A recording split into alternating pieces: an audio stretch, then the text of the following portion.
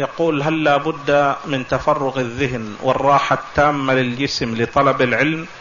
ولو عاد الشخص من عمله مجهدا متعبا لكن لديه همة وحب للعلم وحضور مجالس العلم هل هذا يعتبر مجاهد لنفسه أم أنه مجهد لها؟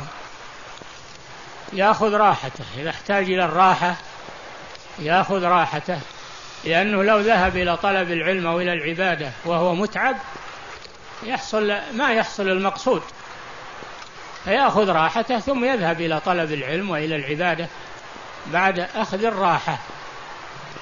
إن ناشئة الليل هي أشد وطئا وأقوم قيلا وناشئة الليل هي القيام بعد النوم. هي القيام بعد النوم. نعم.